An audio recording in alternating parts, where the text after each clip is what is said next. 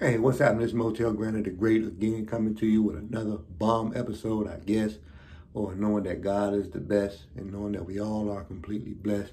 But I want to say today that sex is better than thinking you better than somebody else.